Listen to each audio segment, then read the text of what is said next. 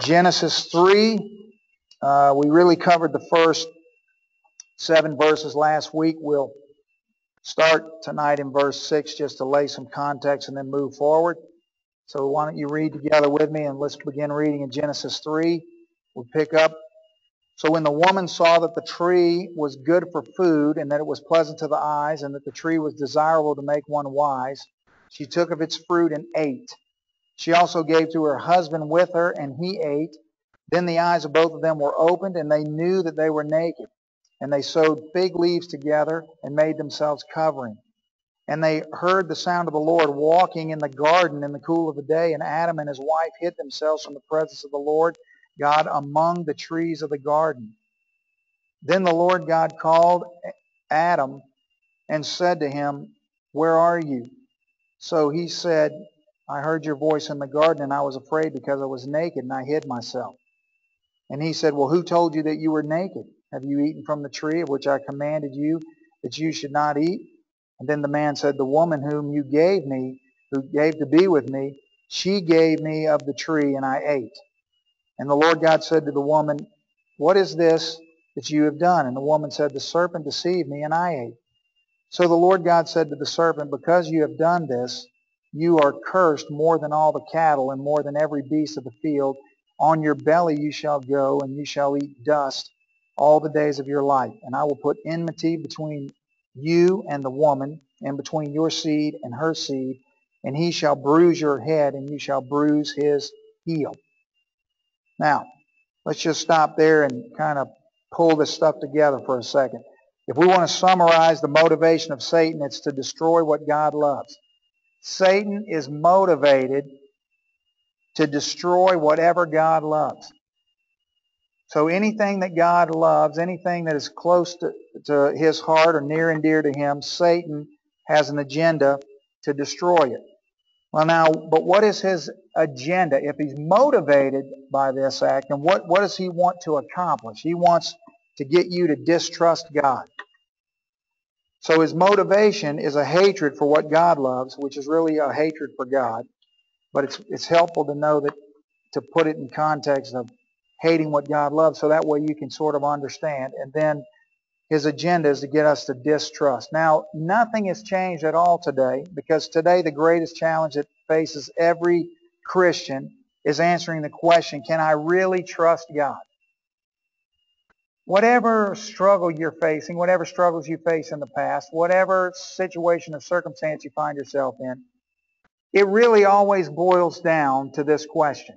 At the end of the day, for those who know God and are called according to his purpose, it really just boils down to we try to complicate it, we paint it with different picture uh, colors and try to make things, you know, look in certain ways, but it, it really is not complicated. It's just, do you trust God?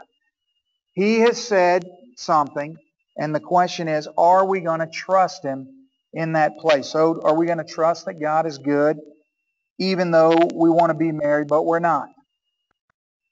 Is that going to be a place where we can trust Him?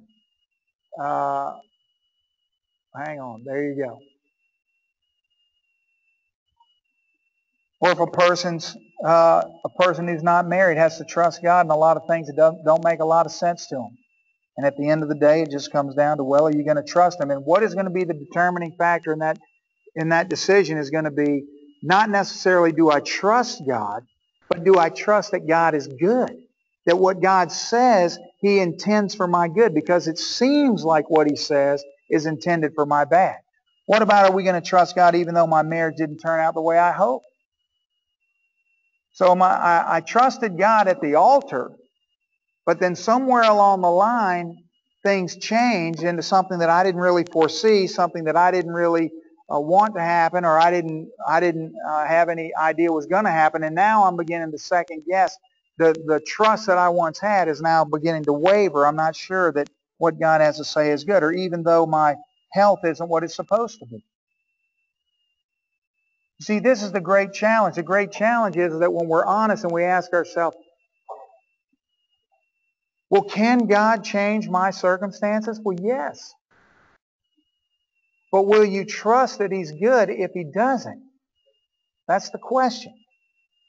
What about even though my children have rebelled against God? Every parent in this situation begins to condemn themselves and start reeling through all these different scriptures and promises from God and start thinking, where did I miss it? What is happening? Why is this going on? What did I do wrong? Or you can just fill the blank. And even though whatever it is you want to put in, you just put in. But at the end of the day, it's going to come down to do you trust God? Do you trust that He's good? When you start struggling with trusting God, it's always going to get down to the issue is going to be the make or break moment of whether or not you're going to trust God is going to be, is He good? Don't ever forget that. What happened in Genesis 3 in the garden is the same exact thing that happens every day to you and me. Is He good?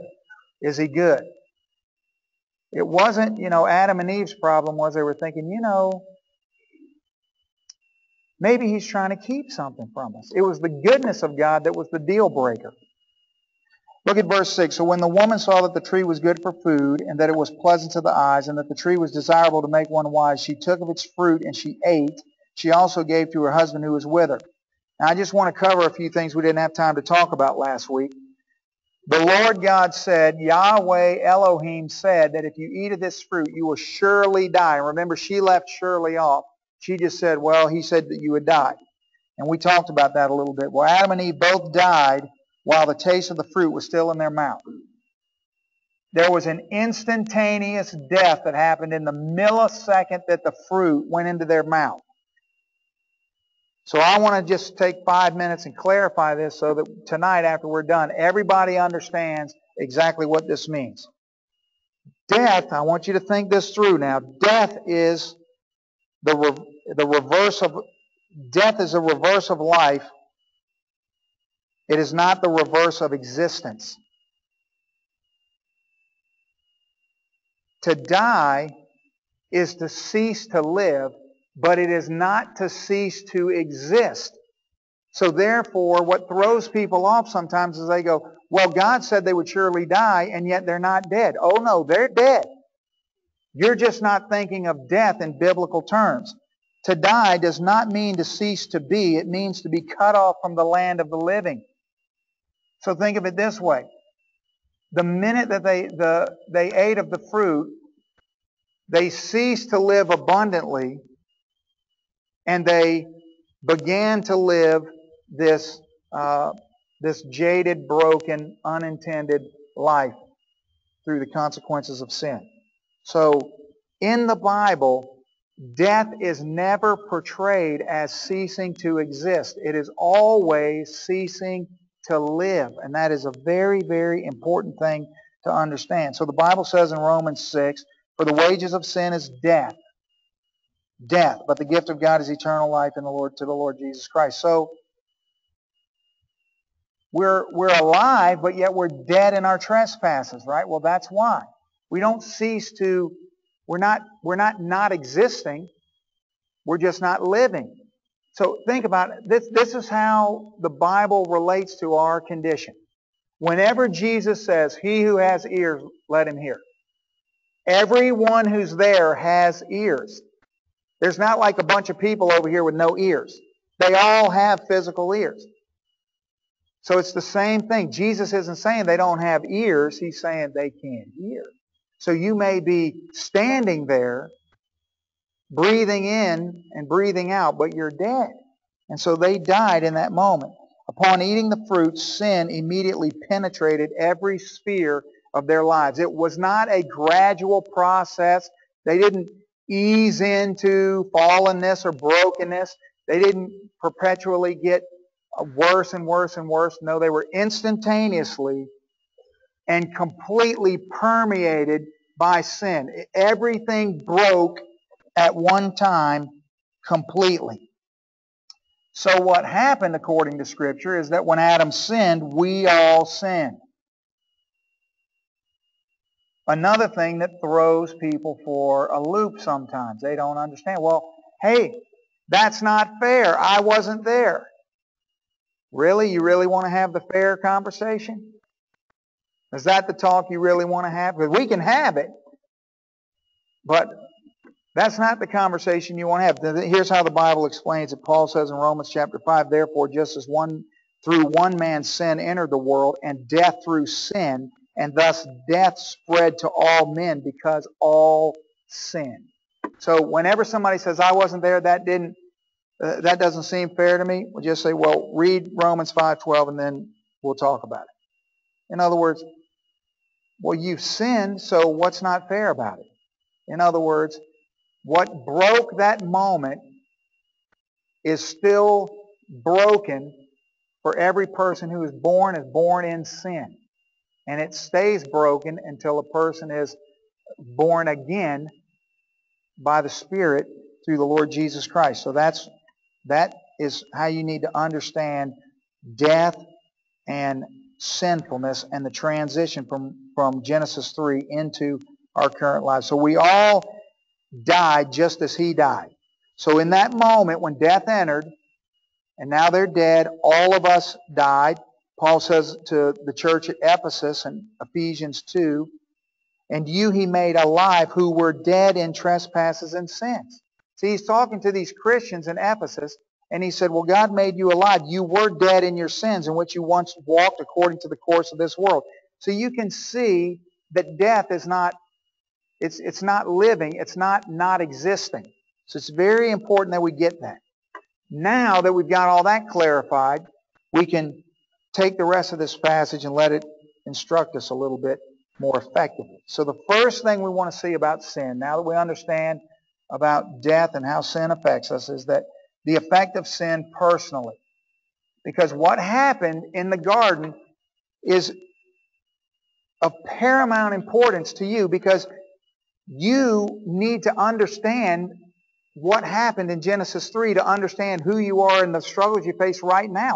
I mean, it is the, it is the, uh, it's, it's the essence of really having a, a harness on the struggle that we face right now is understanding this text.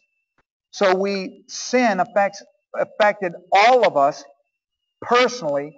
We kind of know that, but we need to see in this text how it happened. Then it'll make sense to us. Look at verse 7. Then the eyes of both of them were opened, and they knew that they were naked, and they sewed fig leaves together and make themselves covering. Okay, so the first thing that happens is innocence is lost. Now, I'm talking about specifically the, the way sin affects them personally and how that translates to us. So there's this lost innocence in this moment. Now, note that there's a fundamental change in the way that they see themselves.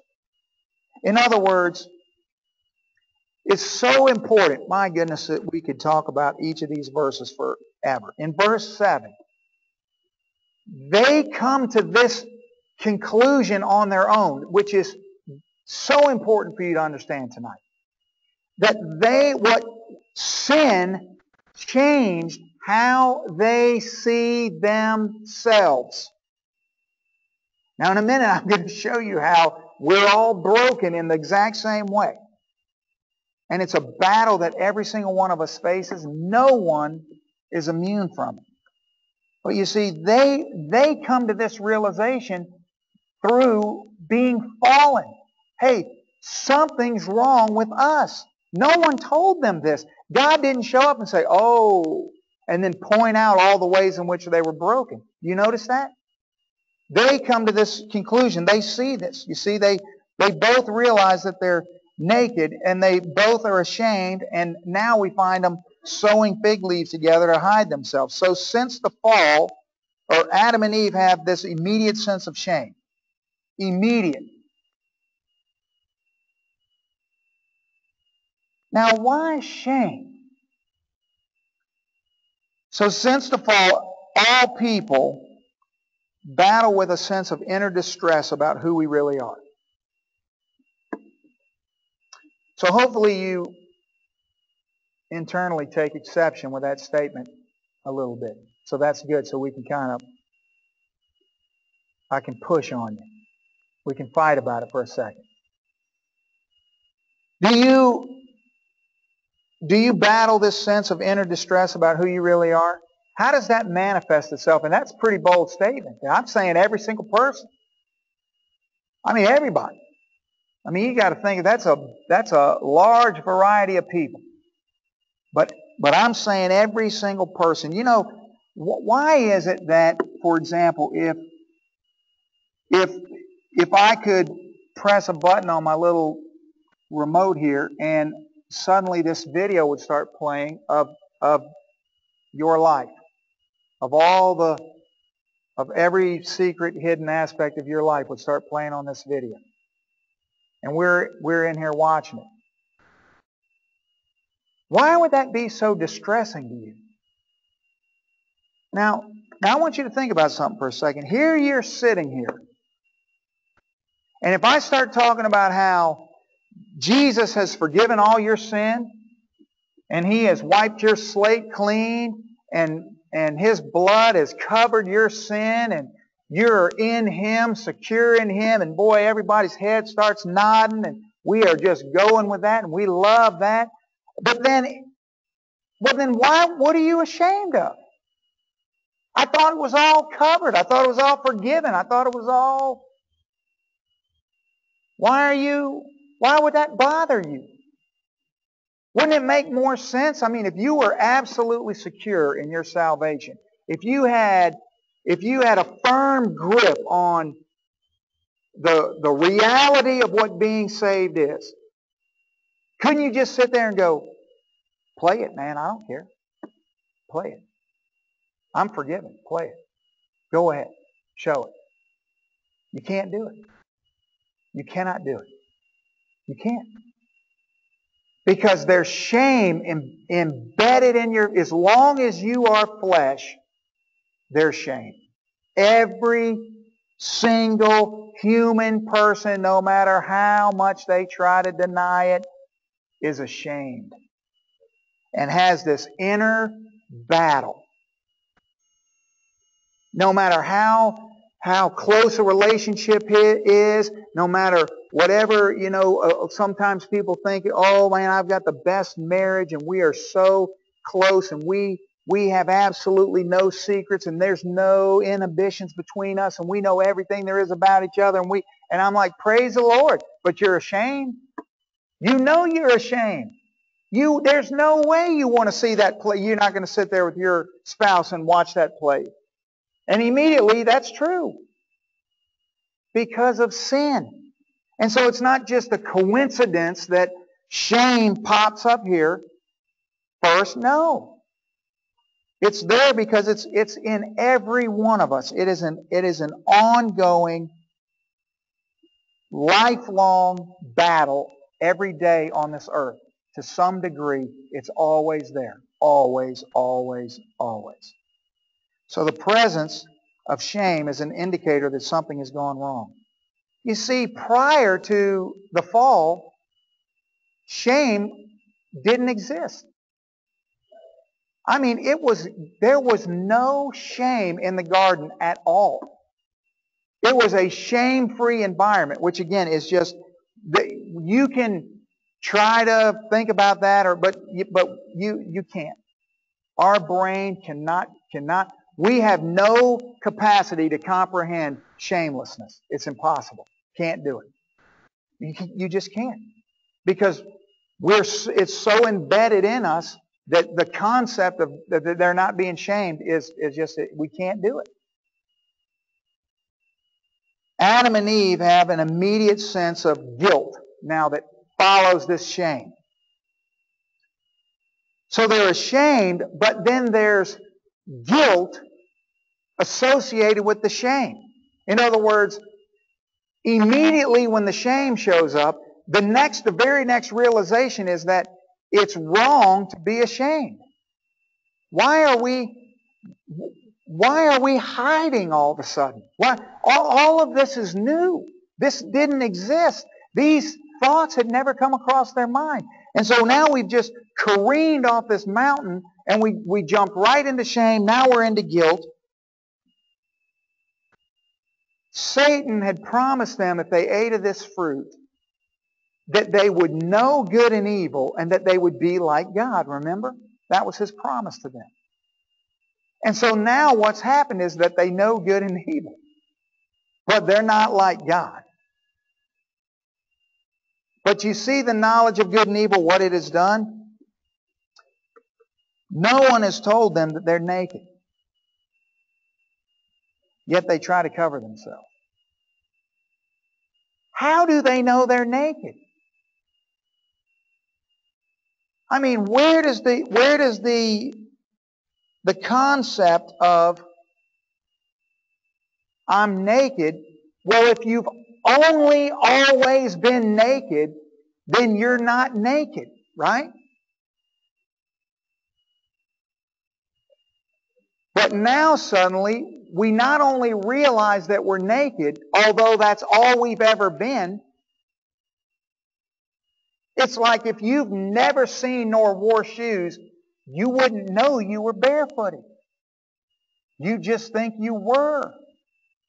The only way you could know that you were barefooted is you'd have to see an alternative. An alternative would have to present itself. Well, now suddenly, we've realized that we're naked. And we've responded. Now, now think of how crazy that the, the realization that we're naked is the shame part. But then the guilt part is we're going to cover it. So we, we, we've never known any other thing. We've now realized that we're something that we've never been and that that's not good. And so we're going to, in guilt now, cover it. I find it interesting that when I was looking at the Hebrew words that make up, um, they sewed fig leaves together it and made themselves coverings. It actually, in the original language, the exact translation of that phrase is they made belts. They didn't make like loincloths. They made belts. They literally, like, imagine they just took a vine and put it around their waist. Now that really fascinated me. I started thinking, now there's there's a sermon in that right there. I mean, everybody's going to be uncomfortable if I, you know, spend 50 minutes preaching on nakedness and a vine, but hey. What are they trying to do? You see, we've been, you've been misled all your life by these pictures of them with these little triangular fig leaf made little bikini bottoms. You've been, you've been robbed. Because that's what we think. They were not trying to cover their private area. Why would they do that? They were they knew that this feeling that they felt of being naked was wrong, and so their response is they just put a vine around their waist like a belt. We have a perfectly usable Hebrew word for loincloth, not there. Belt. They're not trying to cut, they just they don't know what to do. And so then God solves the problem for them later on. We'll talk about that next week, but I think it's pretty fascinating. So that's the personal. Now let's talk about the effect of sin relationally. Relationally, how does it affect the two of them? Now, there's not only a loss of innocence, but now instantaneously, well, I mean, look at it. We unraveled in warp speed. There's a loss of trust. Like all of this is happening in, in just like the blink of an eye, you're watching humanity unravel before your very own eyes. Right? Just right there. Bam, bam, bam, bam, all at one time. It's astonishing how this is so teaching. So the effect of sin is to hide and to cover, causing an immediate breakdown in communication.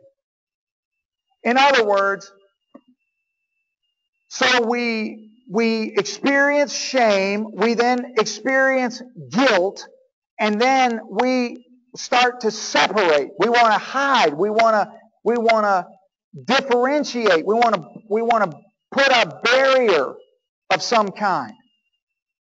We want to break down communication. Now, I want you to note that the first place that sin is demonstrated in the world is in the marriage relationship. Here we are, sin shows up, and all the effects of sin are teaching us through The marital relationship of all things. Not brother and sister, not two brothers, two sisters, not, no.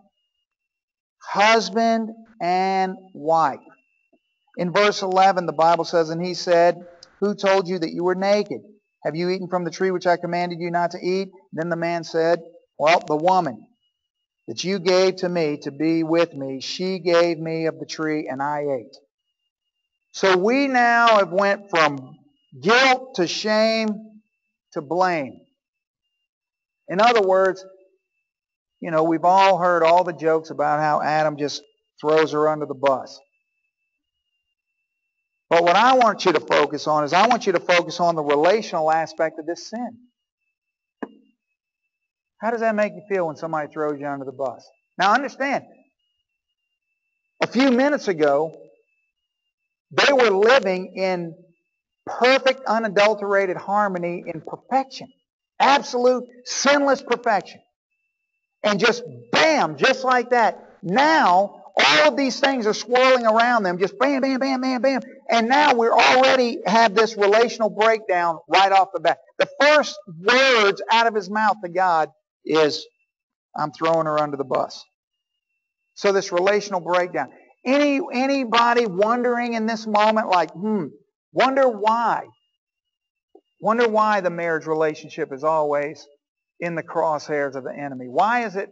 Why is it always a, a daily uh, challenge? Why does it always have to uh, be at the, near the top of our priority list to be careful and cautious and nurture that relationship because it can so easily be damaged. Because here we have right off the bat blame and this relational breakdown, and then we have the effect of sin spiritually. We have personally, relationally, and thirdly, spiritually. So there's this spiritual breakdown. There's not only a loss of innocence, there's also a loss of trust and now a loss of fellowship. See, as soon as the relationship breaks down, the next breakdown is always fellowship. Fellowship doesn't break down first. The relationship breaks down first and then the fellowship. If the relationship doesn't break down, then the fellowship continues on, right? Then the Lord God called to Adam and he said, Where are you? And so he said, Well, I heard your voice in the garden and I was afraid because I was naked and I hid myself. So you see, there's this breakdown in fellowship. He's running away from, which he's never done before. The concept of running from God, he's never thought that before. That's never happened. It's never even been anywhere on his uh, radar screen. And now suddenly he's doing something for the very first time. And he's trying to explain himself to God as if, well, that's what I did. Notice the progression of how Adam relates to God. First, Adam fears God. And not in a healthy fear but in an afraid, I'm afraid of God. Secondly, he flees God. So he fears God, he flees God, but then he fights God. You see, he doesn't just receive, he, he, he, he goes back at God. He said, Well, it's your fault. You gave me the woman that caused it to happen.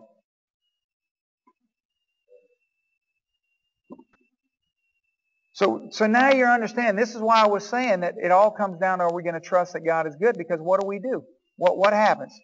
Suddenly things are, well, everyone thinks God's good when things are good, but when things aren't good, hmm, how, what, what is our we start to fear God. What do we think? We think God's doing this to punish me, isn't he? That's why he's doing it. That's why this is happening. That's why I can't get better. That's why this is this way. That's why this that. So then he's he's doing this. Well, as soon as you start going down that path, as soon as you say, well, he's doing this to punish me, the number two step in that path is you run away.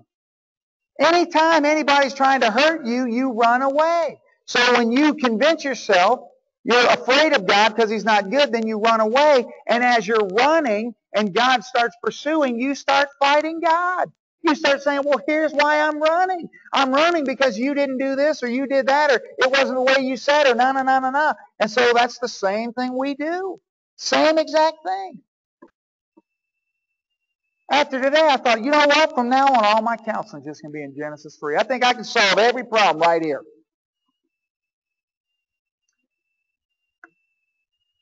He says, I, I heard your voice in the garden and I was afraid because I was naked. Hmm.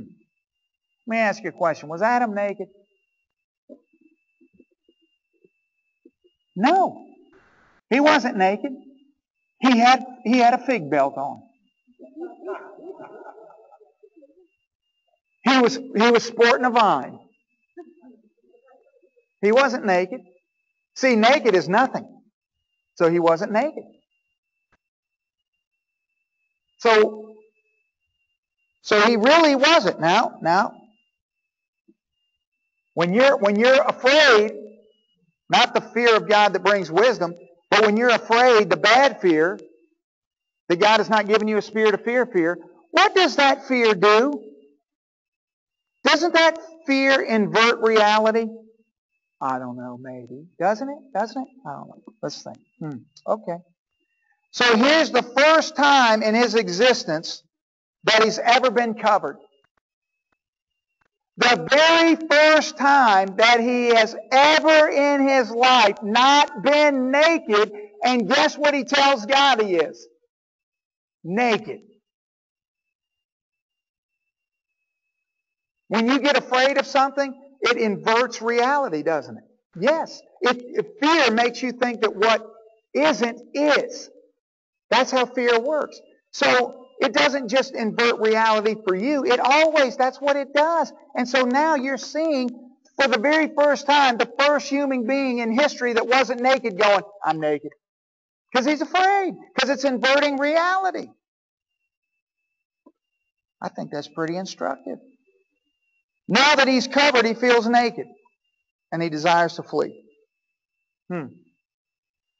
See, every time my reality gets inverted, my automatic instinct is to bolt. Every time. Every single time. Every single, there's never been a time in my life that I didn't sense reality invert and I didn't want to take off running. Never. You ever been walking along at night and all of a sudden the bushes start rattling? Your reality just inverted and boom. Now you don't even know what's in the tree. You're in the book. You don't. You don't need to know. See, you're walking, and you're you're re, and it's quiet, and so in your mind you're thinking, okay, it's quiet, so quiet's going to be good. And then if it's not quiet, it freaks us out. That's what fear does. And so then you run home and you run in and you're huffing and puffing, you know, and your parents go, or your wife goes, what's wrong, honey?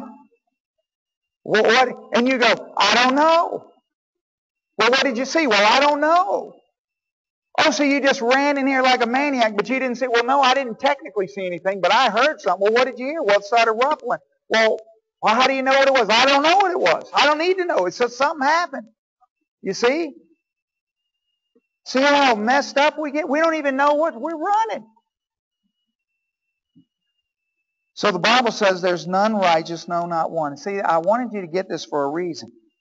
There's none righteous. There is none who understands. There is none who seeks after God.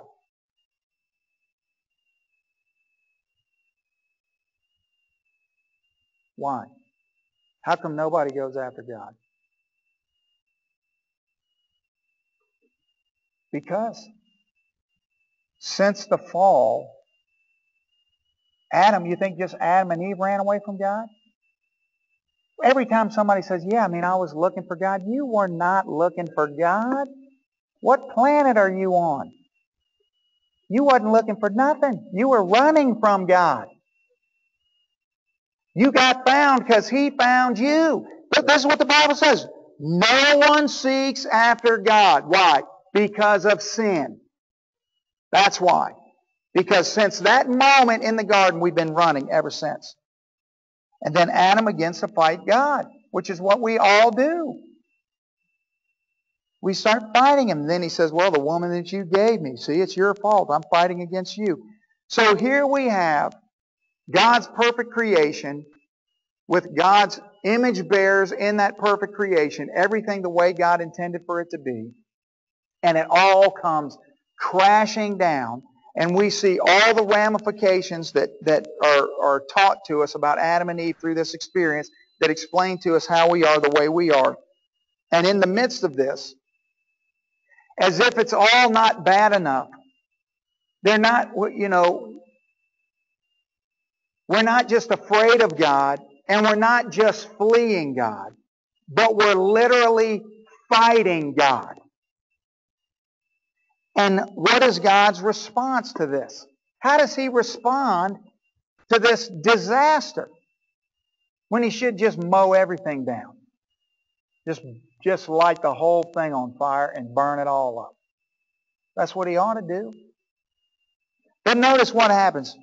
For example, in, in verse 9, then the Lord God calls to Adam and says to him, Where are you? And then in verse 13, and the Lord God, again, Yahweh Elohim, instead of just Elohim. Yahweh Elohim says to the woman, What is this that you have done? So Yahweh God comes looking. Man doesn't initiate reconciliation. We're running in the garden and we're running now. And every single person in this room that's saved got saved when they were running from God. And while you were running, you were fighting. Now, all those verses in the New Testament that talk about how we're, we're enemies of God all make sense, don't they? Yes, absolutely. Just like Adam and Eve, same thing. It all just perfectly lines up. So, when God asks these questions, now it all comes together. Well, why does he say, Where are you? Why does he ask, why would this all knowing God say, Where are you? Or did you eat of the tree that I commanded you not to? God doesn't, he's not, he doesn't want, he's setting them up. He's, he's, he's, this is a, both of those questions are like lightning bolts of grace. That's what that is. I hope you see that. It's not just because God's connecting with them. It's what he says. It's the whole thing that's going on here. He doesn't want information. He wants repentance. He's giving them, he is drawing them to himself. He's saying, he's saying, why don't you repent right now? Where are you? Like I know where you are. What I'm wanting you to do is say, Father, I made a huge mistake. I made a huge mistake. I should never have doubted your goodness. But that's not what they do. But that's what the question's about. When he asked Eve, he said, well, did you eat of the tree? I mean, come on, that's the dumbest question in the world. That would be dumb for you and me. For God, that's really just moronic. He does not want, he's not asking her for information. He is opening the door. It's a grace, it's a lightning bolt of grace. He's saying, Did you eat of the tree? Can't you just, I can just picture y'all down, kneeling down, you know, looking at your little five year old, going, you know, they got chocolate all over their face and you're going, did you get in the cookie jar? You don't want information. What are you doing? You know what you want them to say? Yes, and I'm so sorry that I did. That's what you want. Same thing. God wants repentance. This is why God ignores their answers. You notice that?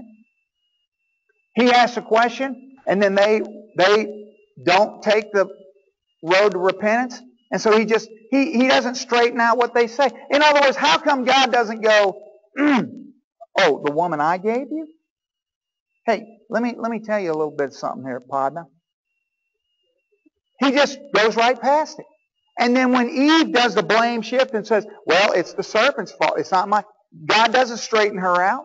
How come he doesn't straighten them out? He just I drive people, I do that all the time. Drives people crazy. They'll ask me a question and I'll just keep on going like it never even happened. Because it's a, because it's a, it's not a, it's rhetorical. In other words, I'm trying to, I, I hear what you're saying, but I'm trying to go to where we need to go to resolve what we're talking about, and that's not the path we're taking. And I just go right on by. And they're hung up on I didn't answer the question. Because it's meaningless information. See, so God just lets it go. So here's what he does say. But when he speaks, then it's the best part. What does he say? So in verse 15, boy, did you ever read this and think, now here's the best news ever? It's probably the best news in Genesis right here. And I will put enmity between you and the woman, and between your seed and her seed. And then he says, He shall bruise your head, and you shall bruise his heel.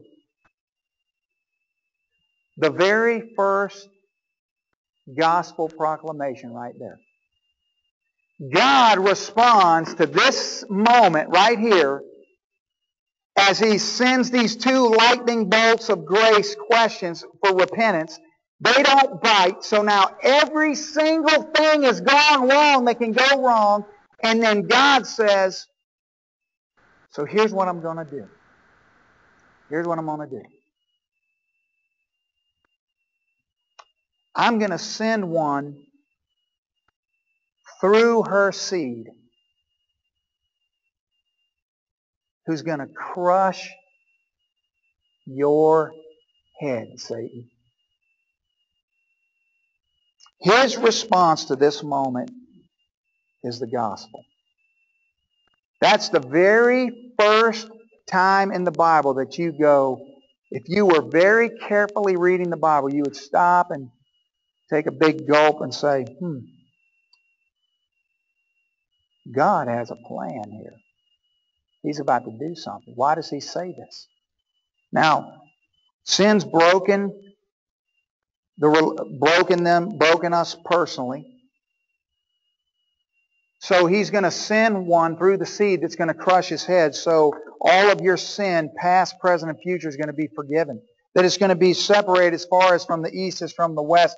The Bible says that your nasty, filthy, dirty, rotten, scuzzball life, just like mine, is going to be white as snow. So personally, what he's going to do to reverse the effects of sin is he's going to forgive all of our sin personally. He's going to forgive it all, past, present, future, all of it in one foul swoop. Then relationally, how it tore everything apart relationally, he's going to come as a father a father who's going to send his son, and through that son, who's going to be an elder brother, who's going to make a way for you and me to be adopted into the family so that we become children. So we've solved the personal problem of sin through the forgiveness of our sin, but then the relational problem is solved because now we're going to relate to God as a as a child, as a father or a son through this relationship with the Lord Jesus Christ. Now we've been adopted into this family, so now we're children. So we're co-heirs with Christ in this new relationship. And then spiritually, what sin destroyed, he's going to reverse that by putting his spirit within you so that all of the broken fellowship, so that your sin can never be held against you personally because it's all been forgiven. That relationally, you can never be separated from the Father because the Bible says that you're held in the palm of His hand, that nothing can break the bond between you and the Father through the sacrifice of the Son. And then spiritually, He's going to put His Spirit inside of you so that there'll never be a millisecond of your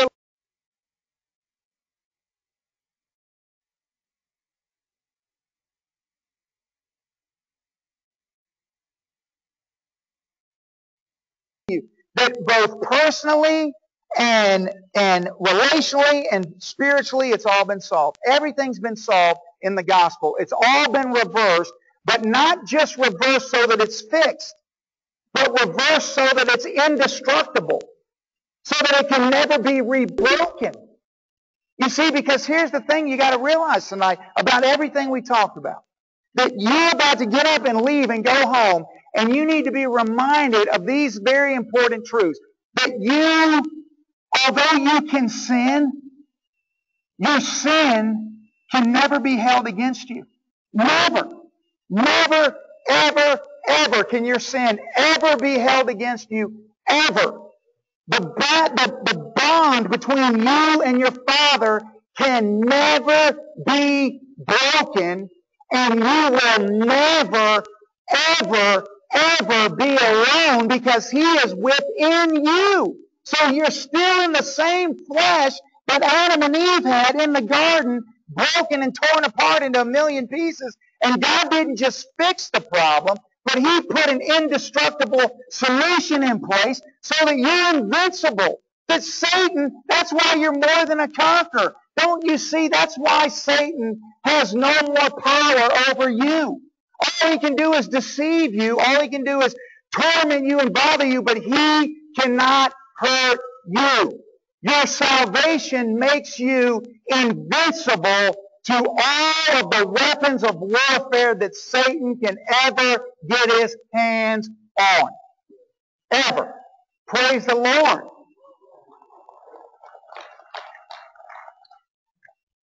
So when you are dealing with the flesh and you feel this shame and this guilt and you're fighting with God and you're, you're in, in this place where you don't want to be and you're trying to battle with all this, let me just give you some great, great advice tonight. I want you to do what Adam and Eve did. I want you to just, just blame God. Just blame Him. Say, God, I blame you for everything. Everything. Your son died on the cross for my sin. You know what Calvary is? Calvary is Jesus Christ hanging on a cross saying, blame me. Blame me. I take the blame. Give it to me. Blame me for everything you've ever done in your life. Blame me. Blame me for every wicked thing you've ever done. Blame me. And I'll take it. And he's took it. And so therefore there is now no condemnation for those who are in Christ Jesus. You know why? He took all the blame. And Satan can't do anything about it. Because when Jesus rose from the grave, he crushed his head.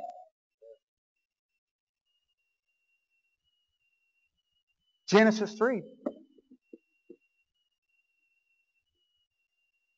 Genesis 3. Let's get a handle on that. Father, we thank you for tonight. God, your word is so spectacular and wonderful. Lord, thank you for speaking to us. Thank you for giving us ears to hear. Thank you for my beloved brothers and sisters in Christ, Lord. Thank you for giving us a hunger and a thirst for you. Lord, we know, I know, Father God, that you only, you speak through me because you have hungry people here. I know that. And I thank you for that, Lord. And I pray that we would be mindful tonight as we leave. That God, it was a mess in Genesis 3. It was a, it was a disaster. But you didn't just fix the problems. You eternally solved everything in Jesus. And so every saved person in this room, every single one of us who is saved, we have nothing to be afraid of. There is no weapon formed against us that can prosper. Because you've crushed his head. And we thank you, Lord Jesus, for what you've done. And we thank you, God, for adopting us into your family, allowing us to be your children, and giving us your spirit that we'd never be alone. In Jesus' name, we love you. Amen. Amen.